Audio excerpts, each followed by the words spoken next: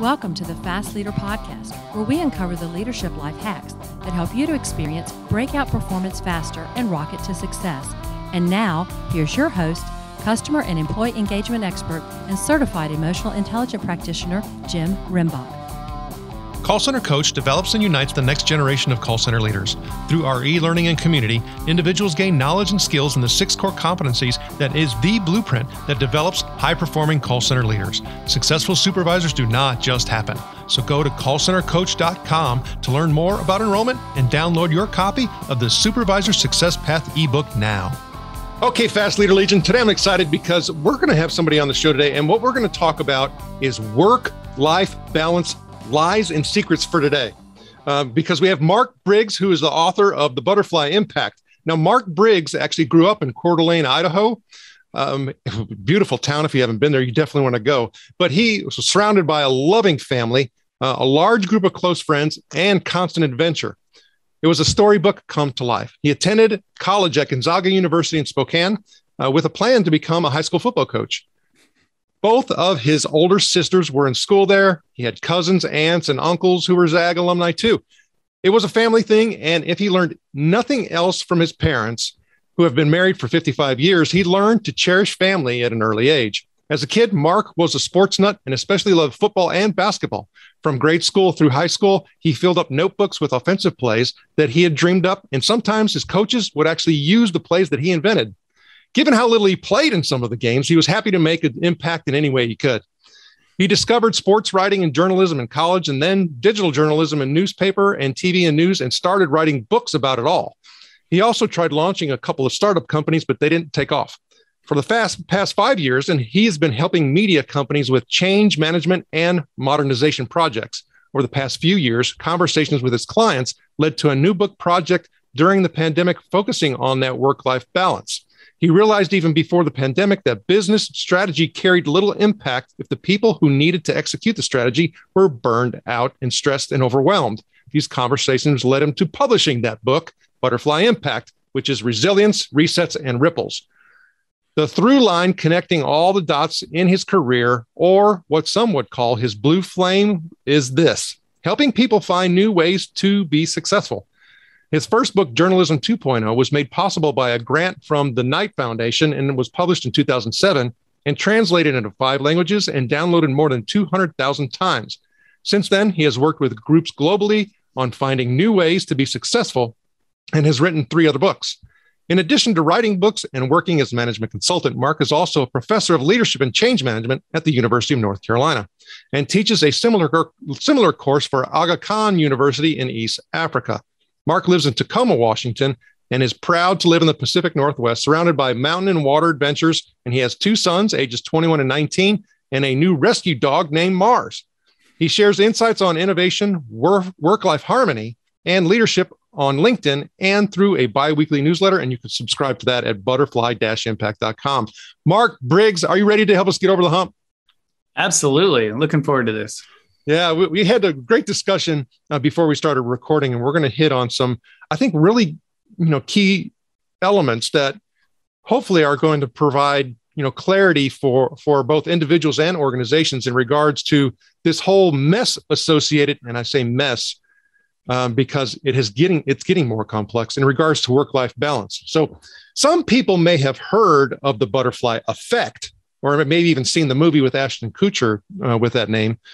But you know, I think it's important for us to start with trying to understand what is the difference between the butterfly effect and the butterfly impact.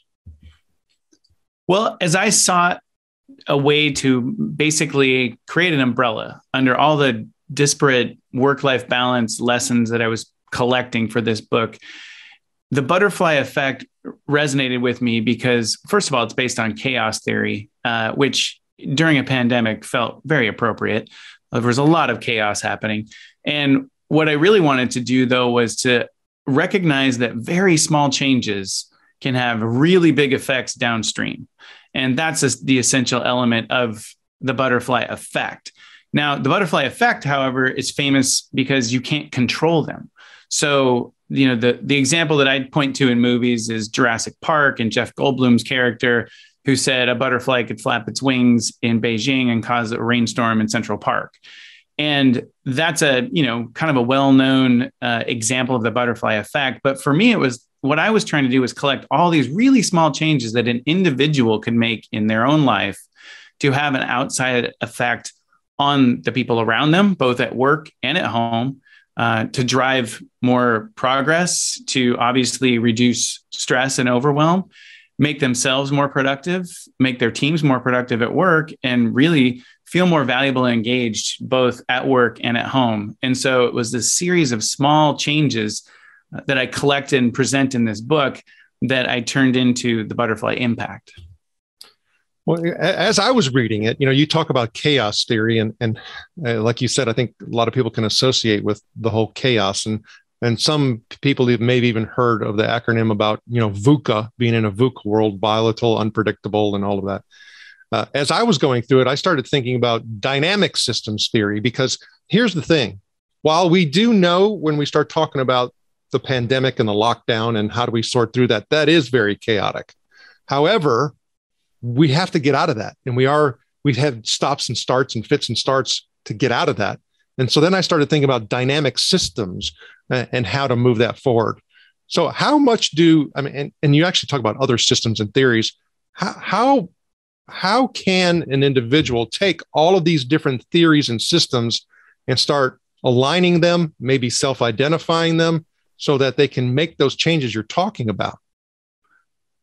it's interesting you bring up VUCA. It's something I actually bring up quite often in workshops that I do with with my clients because that volatility, uncertainty, complexity, and ambiguity that that acronym represents can be transformed into problem solving and creativity, experimentation, and progress. And that's what I think all of us have have learned in you know what we've gone through in the pandemic and the ensuing years from it. You know, inertia tells us that a body at rest tends to stay at rest and a body in motion tends to stay in motion. And for a lot of organizations and teams and even people and families, uh, that inertia hadn't changed much, maybe. And what happened with the pandemic was everybody was forced to change in some way. And so it created this opportunity you know on a global scale this this moment in time where everybody had to figure out am i going to make progress with my change that's being forced upon me? Or am I just going to sort of grin and bear it or hunker down and wait for it to pass over me? And really, what I've tried to present in the book, where I, I interviewed more than 100 people to get their takes on it, because I wanted to get, you know, sort of perspective from all walks of life and all kinds of different situations, is here are some of the ways that you take that uncertainty, you take that change that's forced upon you and turn it into something positive and come out of it a better team, a better person, a better parent, partner, spouse, uncle, friend, whatever role you happen to play. And you know, this pandemic has as a silver lining has given everyone the opportunity to make that change in a positive direction. Well, and there's a couple of questions that I have as a result of that. But one part of the book you had talked about, you know, some of these butterfly impact type changes and it may cause pause for me. You said something about how we can't predict what their downstream or you know effect is going to be. You're talking about that Jeff Goldblum example. We don't know if that flapping over there is going to cause that rainstorm.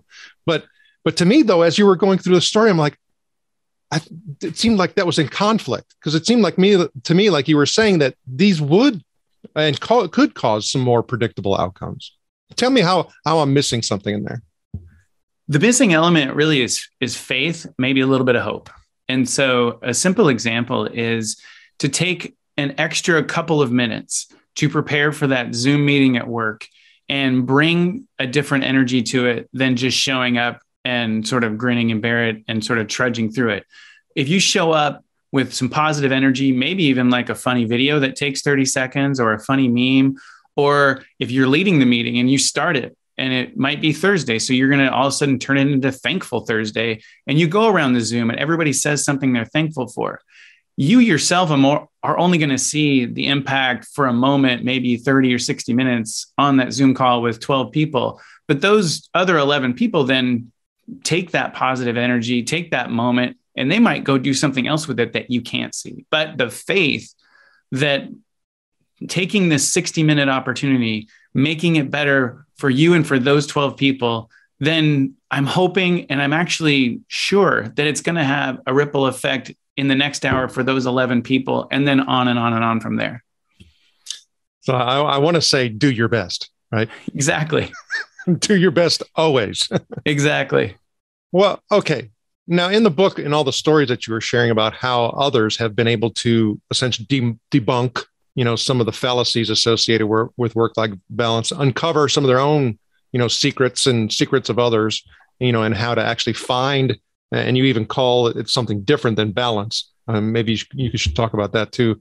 But I, I, I started looking at all of the words that I have heard throughout the course of many years: authenticity, values, I mean, um, Carol Dweck's work on fixed mindset and growth mindset. I started seeing all these common things uh, that we hear a lot of, and so I, you know, uh, it goes back to you know creating our own plan and figuring out and self-diagnosing, uh, you know, and taking that right action.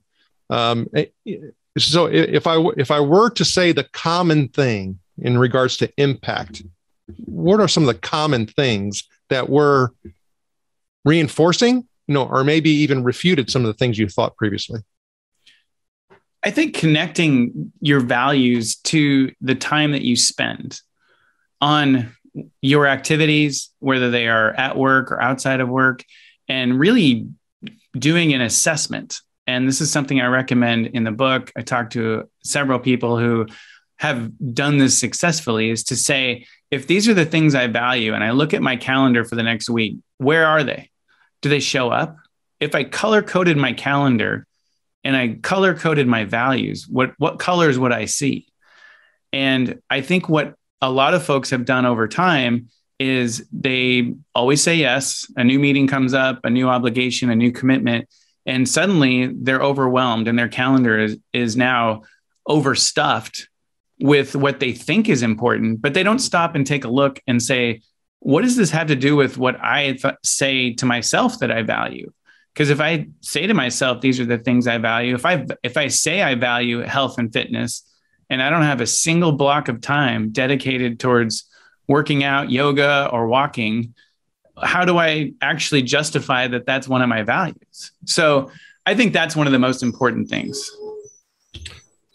And and, and that would, for me that resonates and makes a lot of sense. Um, but then it goes back to that whole self-assessment piece uh, to be able to identify those values. And i think I, and you would even attest i'm sure you know by reading through and talking about that you know idyllic Coeur d'Alene and idyllic family setup and how you always you know work to try to be able to obtain that in your own life and had some issues with feeling like you weren't able to do so and didn't want it to impact your your boys um, you know, but I, I, you know, how, how, how do you actually, you know, take the value concept? Because some people say, well, I didn't even figure that out until I was in my 40s and 50s. And that's what the, um, the whole, you know, midlife crisis thing was. I finally realized my values. You know, how do I find my values more rapidly? That's a really good question because your values could change and probably will change over time, and depending on how old you were. And like you say, I grew up in a fantastic, wonderful, I won't say perfect, nobody's perfect, but a pretty darn good family and pretty darn good life where as a kid, you know, my my job at, at in sixth grade or my not my job, but what I did every day was gather up with a group of friends and we'd get on our bikes and we'd ride downtown and we'd jump off of rocks into the lake and I mean, it was, it really was as good as it gets as far as an upbringing goes. And, you know, my, my parents have been fantastically supportive of me as my path has taken a lot of twists and turns that theirs never did. And so, you know, when I went through my first divorce, I had to come back to my values. So my lifelong goal at that point was really to just rebuild the family that I grew up in. And then suddenly that was taken away from me. So I had to you know, kind of reassess and again identify with my values again and keep moving forward and then it became all about you know how do i create the life for my kids that is the best possible situation for them and so that value didn't change so i was able to continue pursuing that and over time i think you know as we get older we're going to add more values um, and we're going to add a shifting priority. Um, I really loved last year reading the book by uh, David Brooks called The Second Mountain, where he talked about the first mountain being your career and possibly money and, and at, at, attaining things. And you get to the top of that and you're like, yeah, but what else is there? And the second mountain is what's the impact that I can have on other people? And so, you know, at a later stage, as I am, uh, you start thinking about climbing that second mountain and what's the other impact you can have on people. And so you end up in my life, I think, and the people around me end up adding values as you go, right? Because you, you have more to give than you do in your early stages of life. So they continue to shift, but I think it's important to always have a real clear sense of what they are at any given time so that you know, again, back to what I was talking about earlier where you're spending your time is on what you value at least as much as possible uh, for, um, I had a guest previously on the show. His name was Rick Miller, and he he left me with a, a quote that just resonates. And this was a couple years ago. He said, "Until you know where you stand, it's not possible for you to take a stand." Yeah, at all. yeah, that that that resonates uh, in so many different ways. Yeah, for sure. So we talk about, you know, again, we're talking about, you know, in an organization, we talk about a culture, we're talking about, you know, impacting the customer experience, and and but yet we're talking about all of these other things. So it leads me to ask the question, you know, as you were doing your research and you know, you know, looking at all of these, you know, theories and practical applications, what are some of the things that you've seen where you're like, you know what, and not casting any blame or anything, but you know, you're saying like, as far as work-life balance goes, that's just a lie about work-life balance. What are some of those things that kind of stand out? It's interesting that balance has kind of been uh, attacked, you know, I think in the past six to nine months, certainly in the circles that I, am reading. And, you know, I talk about in the book is work life blending. Um, because I do, I don't think it can be like a balance where there's the same amount of both all the time. I don't think that's actually the, the goal anyway. But I do believe that if, as people, especially those of us who work from home, uh, have had to blend our work with our home life, um, and especially if you have kids at home and there's homeschooling involved, or maybe there's other people to care for, uh, there definitely is a blending of work and life. And that can be done, I think, outside of what traditional norms could be. And whether it's you know setting boundaries on the emails that you're not going to respond to after 7 p.m or on the weekends whatever those things might be um, but i think that one of the of the uh, recommendations that I'm constantly giving my clients is have those conversations about what are the boundaries that as a team we value now. Now that we have had to work life balance and blend, what is the expectation if I get an email on a Saturday? Let's talk about it because a lot of organizations have never had that conversation. So if your boss sends you an email on a Saturday, you just assume you better respond to it to make yourself look responsive, to make yourself look like you've you, have you have got it all under control. And I think that one of the lies about um, work-life balance in in this day and age is that anybody has it totally under control. And I think that honestly, presenting yourself as here's where I need to have a boundary in order for me to be the best performer that you want me to be, and we have that agreement it's going to be better for the team, it's going to be better for me and my family, then that boundary makes a lot of sense. Because to not have any boundaries, we go too far in just making these assumptions and expectations that, hey, just because 10 years ago, everybody worked 80 hours a week in this organization and we all were on our email over, over the weekends, doesn't mean we have to do it today. Let's take a look at the ROI on that. What was the cost of that? And I've seen some people who have been around for decades look back at those older cultures and understand that that was a significant cost that didn't make sense. You know, staying in your office and warming a chair till 7:30 at night because your boss was still at his office and making yourself busy until he walks out and then you can close up and then you can walk out, which is a story I heard just recently. Um, what was the ROI on that? Like, what was the return on investment for you personally, for your family, for the organization? And those are the conversations that we get to have now, I think, because of the pandemic. So it is one of the silver linings that we can put those cards out on the table and understand what is the best for everybody involved. As you're talking, I start also wanting to think about you know some of maybe the generational differences and i don't i don't know if we can even say you know gen x gen z millennial you know what, boomer whatever i don't know if that's it because you know i many many years ago um, and i don't know how it came to me as far as a source uh, i can't even say i was the source but i i had the opportunity to, to be in an environment where i was uh, responsible for uh, the work of over 800 people and uh, I, I, had said something to the effect of that I've been blessed. I've had the opportunity to, you know, lead 18 year old men and 65 year old boys. That's um, good. Because, you know, it, you know, it, it, I think there's a whole lot of factors that go into having the values, if you want to call them that, and having the expectation of, you know, I am going to be the first one to show up and I'm going to be the last one to leave. And you know what? I'm expecting my people to do the same thing right? Uh, and that is a certain type. And this is where you talk about culture, you know, and fit and expectation setting, and um, also this is also could be where the authenticity, you know, comes into play. It's like, well, you're saying that I have the flexibility, but then you're saying if I'm not here, then there, and this, that, and the other, and these specifics, um, it's not ringing true, and, that, and, that's a disconnect for me, and I don't trust you, and I'm out of here. Uh, so, it, is it, you know, really getting into some of differences associated with the values you know or is it a certain situation where you know what just as some of these older folks who lead these organizations go away we'll be able to have you know the organizations that enable you know these better environments well i would agree with you that it's not an age or generational thing because you know we've uh, learned plenty of really bad habits from startup culture in silicon valley mm. and i think that what's we what we're coming to understand is that the people working 80 hours a week and the people that you know are constantly too busy to make time for you to grab coffee or jump on a zoom call or you know do something after work are not necessarily the people that have their stuff together. They're mm. not necessarily the people that are making an impact. Um, the number of meetings you have during a day doesn't have a direct line correlation to the amount of impact you're making on an organization.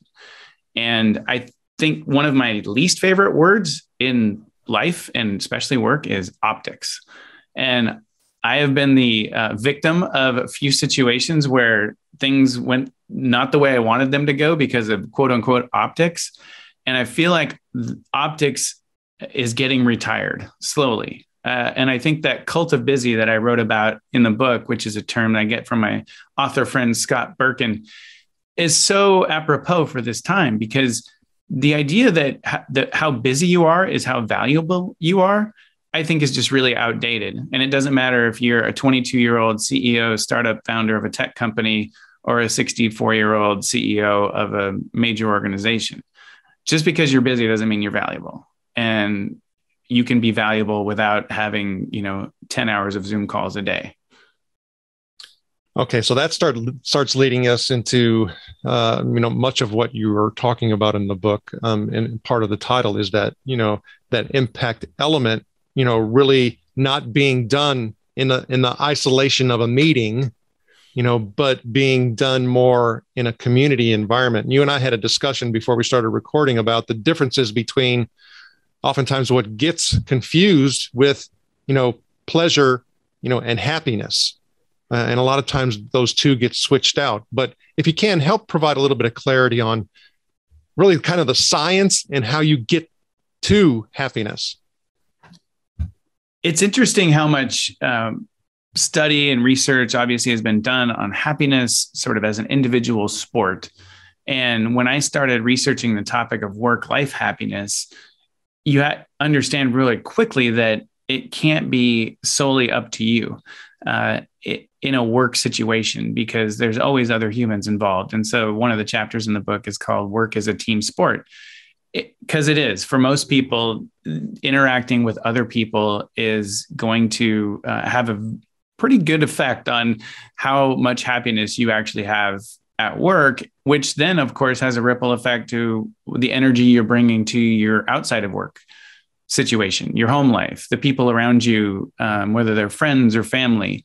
And so to me, it's all very interconnected. And and you know, as you talked about it in the beginning, like happiness is uh, going to release the dopamine in your brain, whereas having a great collaboration with colleagues is going to release that serotonin in your brain and is going to make you feel actually happier uh, for a longer period of time. And I think it has a, a longer staying power and more ripple effect than sort of that individual dopamine effect and that hit you get maybe off of that funny TikTok you just watched during your break. So uh, to me, it's it's a huge investment that you make in fostering the best collaboration with the people that you work with the most. And I know personally, there have been times where I was just having a tough day, feeling stressed about maybe a project. I wasn't sure how I was going to deliver and how I was going to fit everything in.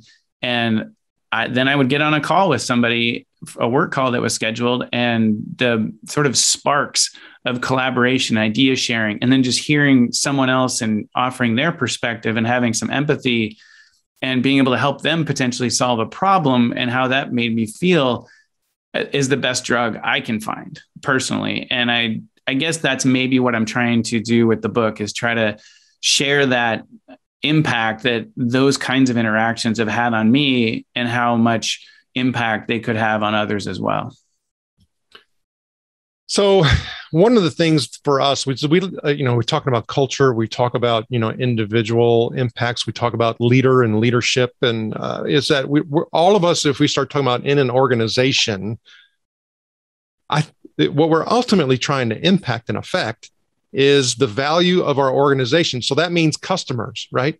That means obtaining customers, retaining customers, serving customers. So, how does the butterfly impact, as you see it, with all these examples and all this research that you conducted, impact the customer experience?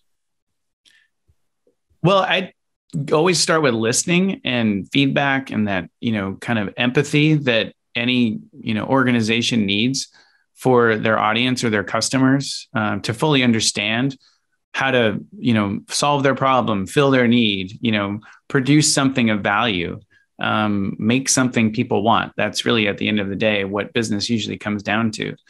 And in my experience the more that you listen internally as an organization to one another the better you will be at listening to those outside of your organization.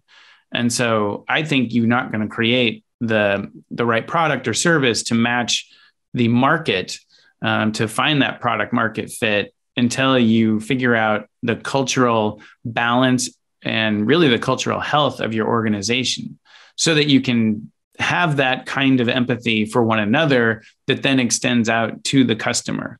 And then you can have that product development that iteration. You're going to be able to make changes. I mean the i think what we've all learned in business over the past 2 years and 10 years really is that an initial idea is is pretty easy. It's executing the idea and continuing to adapt the idea and pivot to meet market needs and changing audiences that really tells the story of success. And so a healthier organization is going to be a more adaptable organization. And so if people are really good at working together, collaborating, at teamwork, at you know establishing boundaries, at being really healthy when they show up to work, and so they can perform at their highest level, then you're obviously going to have the best chance to serve the customers in the best possible way.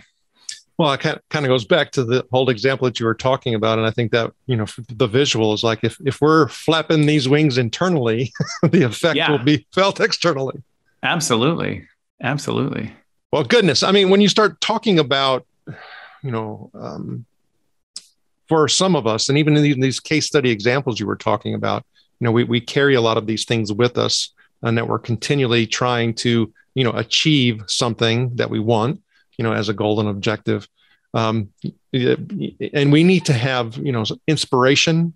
Um, we need to have, and talked about the, you talked about the motivation and there's, you know a body of research on that uh, you know what what actually creates motivation for people that i think we all you know can learn more of because we're learning more and more about you know human motivation and what you know actually generates and creates and sustains it. Um, but but if you, if you look at you know this whole you know transformation effort um, we have to have inspiration throughout the way because it's a journey right? Mm-hmm. it doesn't happen overnight. Um, we look on the show for quotes that help to inspire us and to help hold uh, you know that focus and give that inspiration. Is there a quote or two that you like that you can share I always go back to, um, and I know it's it may be one you've already used, but uh, I think that pro- uh, the fact that change is inevitable and progress is optional is the one that I've used probably more than any uh, in my life. Uh, and this goes back to, you know, like I said, I've been through not just one, but two divorces. I've been through some other family difficulties. Uh, I've launched and watched uh, sunset a couple of startup companies.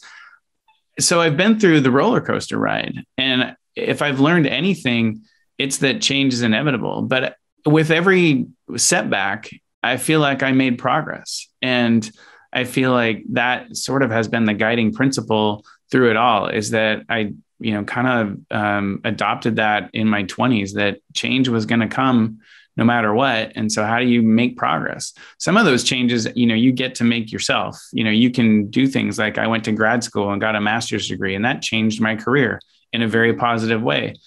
Some of the changes, like a pandemic, you don't get to choose, and they're coming your way. But if you have already embraced the fact that change is going to come, so make progress, you'll be better, much better off. Well, you gave a lot of uh, you know personal examples about times where you have really gotten over the hump is, is what we refer to. And uh, they are very inspiring stories. Uh, and you've shared glimpses of those as we've had our discussion. Um, but if you can kind of give people some insight into time when you've had to get over the hump and what happened yeah, there's been a few, uh, lots to choose from there, I suppose. Um, I think that you know probably the you know the the divorces that I went through were certainly the most challenging. Um, the second divorce, at, when that happened, it, it was very uh, traumatic uh, on me and on my kids, and it was in a situation work wise where I was really stretched. I had a very brutal long commute, so hours in the day were uh, incredibly uh, precious. And to try to manage a transition uh, out of a home situation that um, was frankly dangerous while you know maintaining high performance at work uh, and maintaining i was also teaching uh, a university class on the side at university of north carolina so i was what you would describe as incredibly busy um, but first and foremost was trying to make sure that my two kids were supported and cared for and you know trying to protect their health and well-being. So what i learned real quickly was you had to set boundaries keep boundaries and prioritize. And the other thing i really learned that i tried to make sure came through in this book is you got to take care of yourself. And if you can't take care of yourself first and foremost none of the rest of it matters because it just won't go as well. And so, even despite all of the upheaval that I had been going through, to still find time to exercise and to eat well and to get sleep and do those things that I know people, you know, sort of shake their head at, like, I don't have time for all that. Well, if you did make time for that, you would actually be much more effective in every other area of your life. So it is the ROI on that is you know obviously incredible well proven there's tons of research around it um, so that i think is is a good example of like even when it feels like okay but this is really extreme point in my life i i, I don't just don't have time for that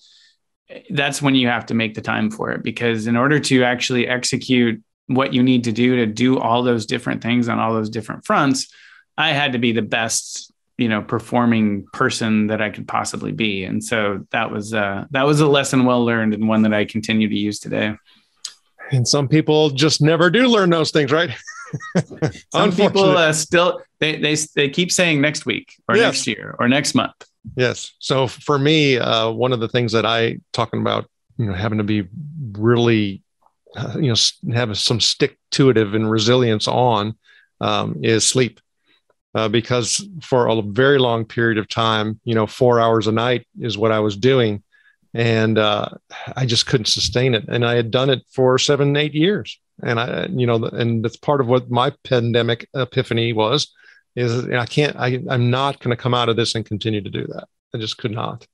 Uh, and here's an interesting fact an interesting fact. My entire life, I have been uh, an anxious nail biter my entire life. And being more mindful of getting sleep, of course, doing some other things, but I now have fingernails that I have to cut and file. The craziest thing. That's so funny that you, that's how it manifested it itself in you. Um, but the point well taken. I, I found a term, ran across a term 10 or 15 years ago from a military general who would say in battle that uh, what they pursued was sleep discipline. Hmm. And so I felt like at the time, if you, I'm not in battle, I, you know, I'm literally not on a battlefield and worried about being shot or bombed overnight. Uh, if those people can practice sleep discipline, then I certainly should be able to. Most definitely. Uh, and another uh, lesson, especially from those special forces uh, people, is in order for them to not lose lose it, you know, and keep their cool, is uh, really focusing in on breathing and deep breathing. Yeah. And there's so many things that are just simple and available to us if we would just do it. Just do it. Yeah, it's the doing that's that's the difficult part for people. That's right. Okay, so you got the book. You've had a couple other books. You're doing some consulting. You're teaching at UNC. Um, you're also teaching um, at, at the other school in East Africa. Uh, but when I look at all the things that you have going and where you are um, and talking about this, is uh, what's one of your goals that you still are looking to obtain?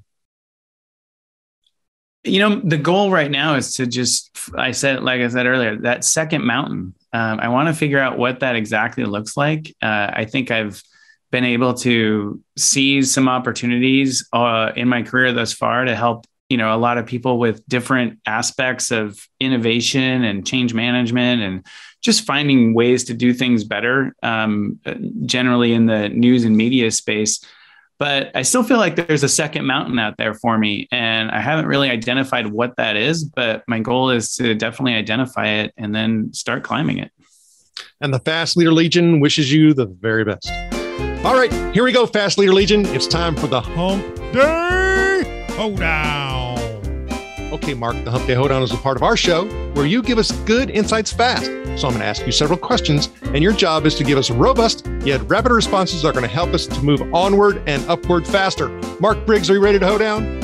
Let's do it. All right. So, what is holding you back from being an even better leader today? Probably ego, probably the inability to be as vulnerable as needed to be as effective as I could be.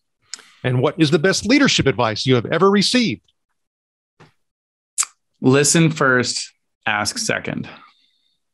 And what do you feel is one of your best tools that helps you lead in business or life? Positive energy that gives a sense of we can do anything. And what would be one book that you'd recommend to the Fast Leader Legion? It could be from any genre. Of course, we're going to put a link to the butterfly effect on your show notes page as well or in, butterfly impact. Sorry, the butterfly impact. My book is uh, that I recommend is Primed to Perform by Lindsay McGregor and Neel Doshi. Um, Play, Purpose, and Potential. They have found and they preach, and I preach with them, is the best way to build an adaptable team culture and individual person. Okay, Fast Leader Legion, you can find links to that and other bonus information from today's show by going to fastleader.net and doing a search for Mark Briggs, M A R K B R I G G S. Okay, Mark, this is my last hump day hoedown question. Imagine you were given the opportunity to go back to the age of 25 and you can take the knowledge and skills that you have now back with you, but you can't take it all. You can only take one. So, what skill or piece of knowledge would you take back with you and why? I would take resilience. Uh, I at that point when I was 25, I had I had not been through the ringer and I hadn't been through all the ups and downs. Um, but boy, it'd be nice to have even at that early age. Mark Briggs, I had a fun time chatting with you today. Can you please share with the Fast Leader Legion how they can connect with you? Yeah, you can find me on LinkedIn or Twitter. Uh, and then, like you said earlier, my website and newsletter is at butterfly-impact.com. Mark Briggs, thank you for sharing your knowledge and wisdom. And thank you for helping us all get over the hump. Thank you for joining me on the Fast Leader Show today. For recaps, links from every show, special offers, and access to download and subscribe if you haven't already, head on over to fastleader.net so we can help you move onward and upward faster.